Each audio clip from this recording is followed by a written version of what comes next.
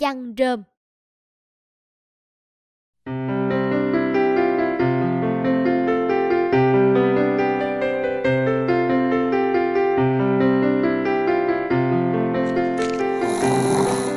Nè, Minh ơi, Minh, dậy đi. Mặt trời lên cao bằng con sào rồi. Hôm nay phải cài để còn bỏ phân nữa cơ đấy. Tôi, để cho tôi ngủ thêm một tí nữa đi. Vẫn còn sớm chán mà. Cứ lười nhác thế này thì bao giờ mới khá lên được đây hả? Ôi trời, giàu nghèo thì chết có mang đi được đâu mà than với thở.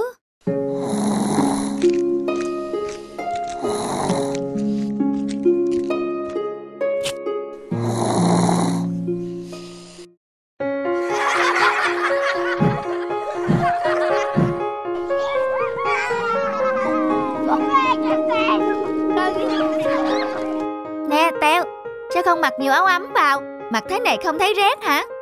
Đây là tất cả số quần áo nhà tớ rồi, làm gì còn nữa đâu mà mặc. Vậy hả? Thế không bảo mẹ cậu may cho miếng chăn làm áo mà mặc, chăn bông ấy, ấm lắm, như áo của mình đây nè. Nhà tớ không có chăn. Không có chăn ư? Nhà ai mà chả có chăn cơ chứ?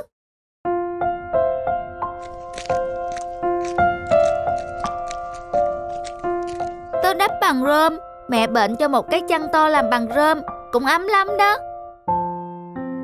Vậy hả? Ừ.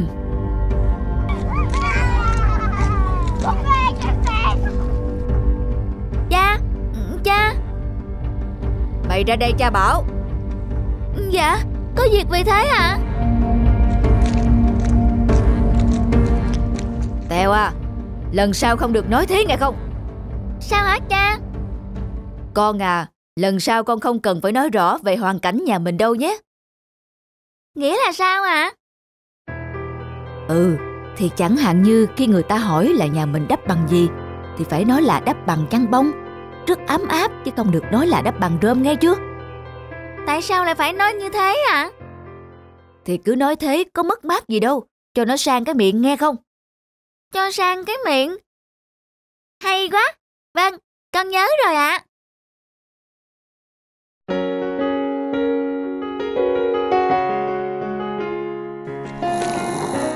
Mình, dậy sớm sớm đi nhé. Hôm nay có các bác sang giúp đào hộ cái giếng đó. Ờ, được rồi, tôi dậy ngay đây. Dậy luôn đi nhé, đừng có nấn ná thêm nữa đó. Chào các bác, quý hóa quá. Thôi chết, để người ta thấy mình đắp chăn rơm, các bác ấy lại cười cho. Chú Sâm, chúng tôi đến rồi đây. Chào hai bác, mời hai bác ngồi đây uống chén nước đã. Thằng Tèo đâu? Rót nước mời hai bác nào. Cháu chào hai bác. Ừ, Tèo ngoan quá. Cha ơi! Gì thế? Ở trên áo cha có sợi bông kìa.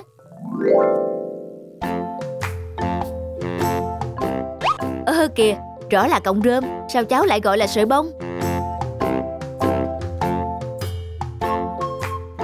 Dạ, vì cha cháu dặn là khi nói chuyện với người khác, không được bảo nhà cháu đắp chăn rơm, mà phải nói là chăn bông.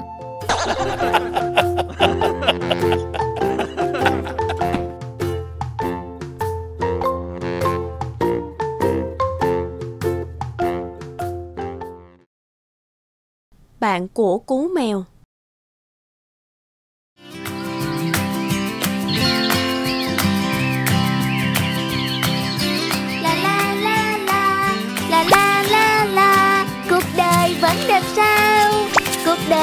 đẹp sao.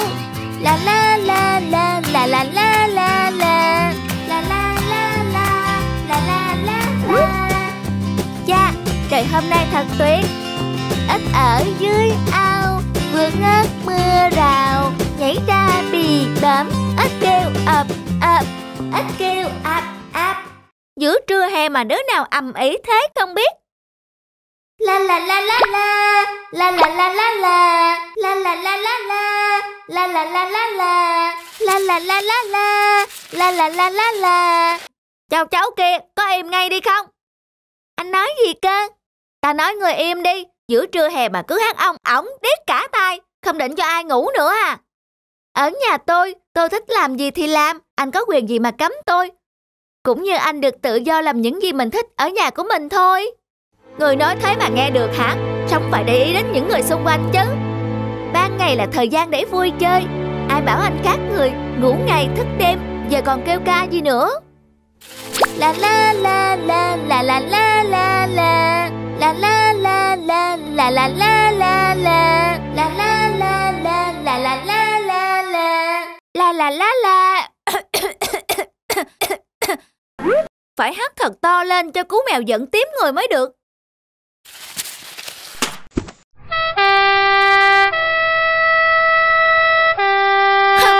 ngang ngạnh, ta mà xuống thì có giỏi thì anh cứ xuống đây Xem anh làm gì được tôi nào. Chẳng qua ba ngày bắt ta kém, Chứ không thì Đừng tưởng ta không làm gì được ngươi nhé. Cuộc đời vẫn đẹp sao? Cuộc đời vẫn đẹp sao? À Còn dám trêu người ta nữa. Được rồi, cứ hát đi. Ngươi tưởng ta sẽ chịu thua ngươi ư. Đợi đấy, Cuộc đời vẫn đẹp sao?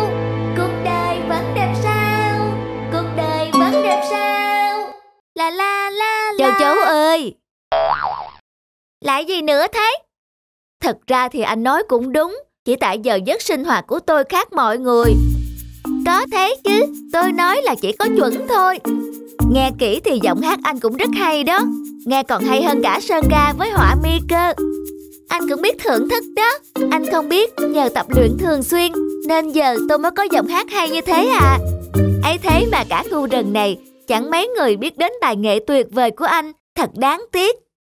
Đúng vậy, Tôi thấy rõ thật là bất công. Chẳng qua tôi là châu cháu bé nhỏ, Nên giọng hát không vang xa được thôi. À mà tôi mới nhớ ra, Tôi còn ít nước sương sớm trong veo. Ngon tuyệt.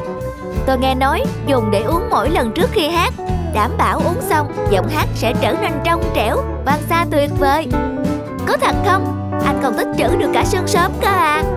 Đúng thế Mỗi sáng sớm khi vừa đi kiếm mồi về Tôi tranh thủ hứng sương trên mỗi cành cây Ngọn cỏ đó. Thật tuyệt vời! Hãy lên đây uống thử một chút Tôi chắc chắn lúc đó sẽ không có ai địch nổi giọng hát với anh. Tiếng tầm của anh sẽ vang xa khắp khu rừng này. Thật thế á?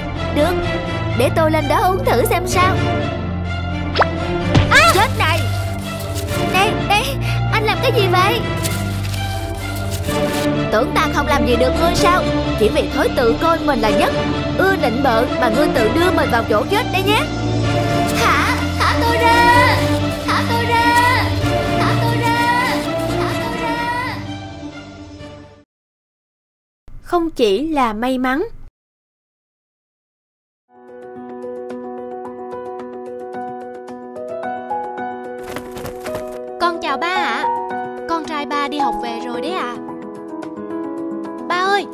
sau lớp con sẽ được đi trung tâm giải trí đấy. Thấy bảo ở đó có trò bowling, Con không biết chơi, Ba dạy con nhé. Được, Ngày mai thứ bảy, Ba sẽ đưa con đi chơi bowling. Hay quá, Ba đúng là số 1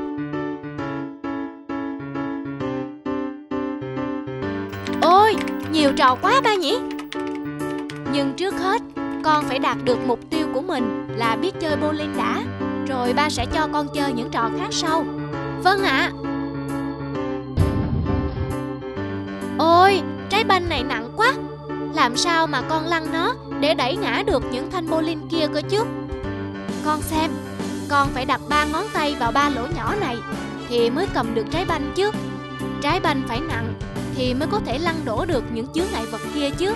Ồ, vậy mà con cứ tưởng Để con thử một lần xem sao. Trò này khó quá bà. Ạ Trái banh nặng thế con dùng hết sức ném rồi mà nó không chạm được tới thanh bowling kia. Sao con nhanh nản lòng thế? Mới trượt có một lần. Hồi bằng tuổi con, ba phải tập một tháng mới biết chơi đấy. Thật hả ba? Lâu đến thế cơ ạ? À? Thì ba đã nói dối con bao giờ chưa nào? Nhưng cũng còn tùy thuộc vào khả năng luyện tập của con nữa. Đây, để ba thử một lần cho con xem nhé. Ba giỏi quá, trúng hết rồi kìa. Giờ đến lượt con đó. Con phải tập trung vào, Dồn sức vào cánh tay Và ném thật mạnh nhé. Vâng ạ.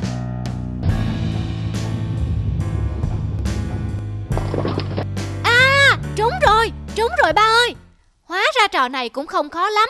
Mới chơi đến lượt thứ hai mà con đã làm được rồi. Thế này thì tuần sau đi chơi, Con sẽ cho các bạn ở lớp lát mắt cho mà xem.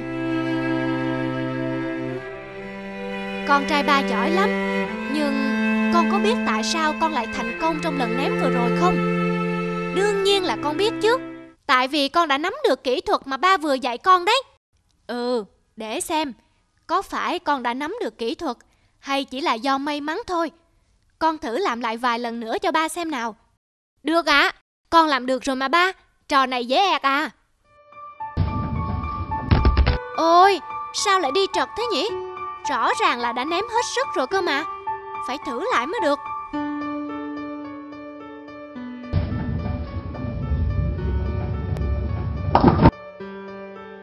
Ba ơi Con không hiểu Sao con vẫn cố hết sức Mà lại không thành công được như lần trước. Vậy con đã công nhận Lúc đó con ném đổ hết các thanh bowling Là nhờ may mắn chưa? Dạ con Con ạ. À, Đừng nên chủ quan. Thành quả có được nhờ một vài lần may mắn Sẽ không lâu bền. Con cần hiểu rõ kỹ thuật Và nỗ lực hết mình Thì mới có thể thành công vững chắc được. Đó chính là sự khác nhau giữa may mắn và nỗ lực.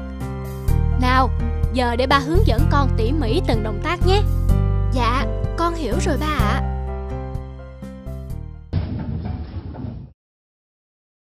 Hành động bất ngờ.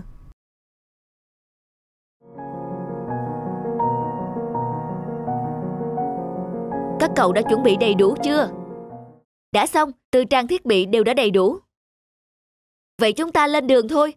Tây Bắc thẳng tiến. Thẳng tiến.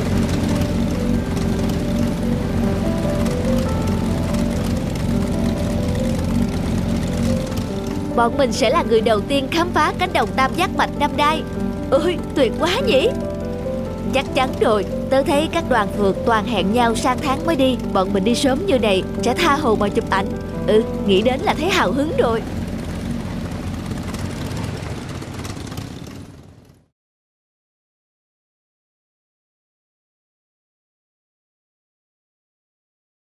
Hình như các cậu đi nhầm đường rồi. Ở đây đâu có cây tam giác mạch nào đâu. Không thể sai đường được. Đây chính là cánh đồng năm ngoái bọn mình đã tới để chụp ảnh mà. Các cậu nhìn lại đi. Đúng là cánh đồng này rồi. Nhưng hình như năm nay người dân không gieo hạt tam giác mạch nữa. Làm sao bây giờ? Chán thật. Cất công lên đây rõ sớm. Vậy mà hỏng hết cả kế hoạch rồi. Hay là bọn mình đi tìm cánh đồng hoa khác. Mùa này ở đây có nhiều cánh đồng hoa tam giác mạch lắm. Đâu phải chỉ riêng cánh đồng này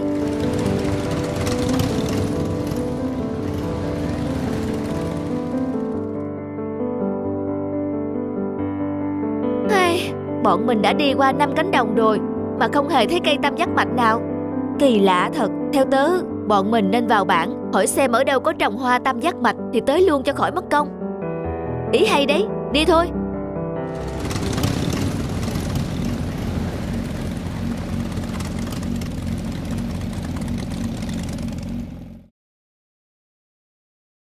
Dạ, cháu chào các bác. Các bác có thể cho cháu hỏi một chút được không ạ? À? Các cô cậu là... Dạ, chúng cháu đi từ miền xuôi lên đây để tìm cánh đồng hoa tam giác mạch, nhưng tìm mãi vẫn không thấy cánh đồng hoa nào cả. Các bác có thể chỉ giúp chúng cháu tới chỗ cánh đồng hoa không ạ? À? Không còn cánh đồng tam giác mạch nào nữa đâu. Các cô cậu đừng tìm tới đây làm gì nữa. Tại sao lại thế ạ? À? Mùa này năm ngoái, cả vùng này đều rực sắc hoa tam giác mạch cơ mà. Thì ra là các người Chính các người đã làm nát cánh đồng hoa Bác, bác nói thế nghĩa là sao ạ? À? Ừ, cháu không hiểu Năm ngoái, vì có quá nhiều người tìm đến đây chụp ảnh Rồi giẫm nát những cây tam giác mạch Khiến cho cả cánh đồng tan hoang Dân bản thấy cảnh đó đau xót, bất bình lắm Đối với đồng bào dân tộc chúng tôi Mùa tam giác mạch cũng quan trọng như vụ lúa, vụ ngô Nhưng những năm gần đây người dân trồng cây mà không thu hoạch được gì từ cánh đồng tam giác mạch nên mọi người quyết định không trồng lại nữa.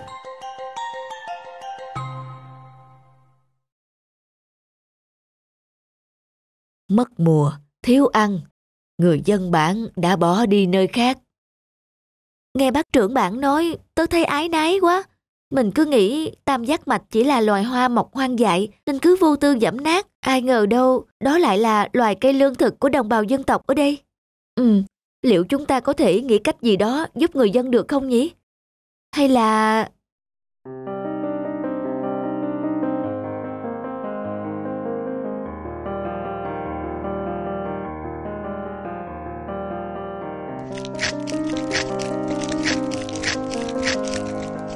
Thật không ngờ, phong trào trồng lại đồng hoa tam giác mạch được chúng ta phát động trên mạng lại được mọi người hưởng ứng nhiệt tình thế này.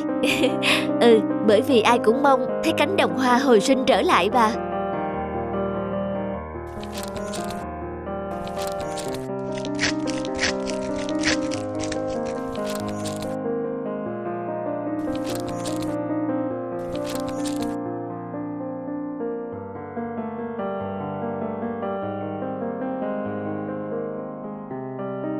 Cháu xem này, tam giác mạch đã mọc trở lại và đã đơm hoa.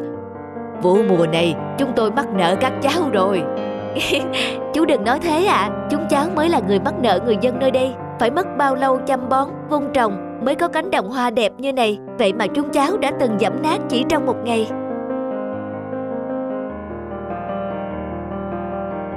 Phong trào đi phượt văn minh đã được chúng cháu phát động rộng rãi để nơi đây trở thành một điểm đến ngắm hoa lý tưởng. Từ bây giờ, chúng cháu sẽ không để hoa phải khóc nữa đâu ạ. À.